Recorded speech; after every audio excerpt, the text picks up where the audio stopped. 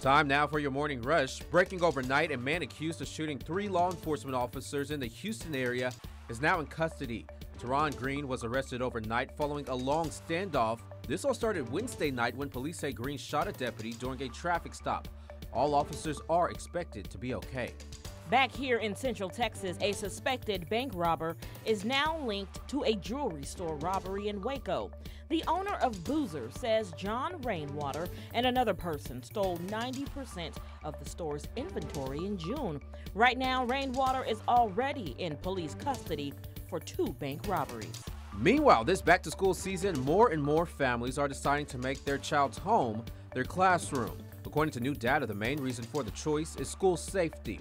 Another reason, well, parents' dissatisfaction with recent laws changing school curriculums. And that is your morning rush.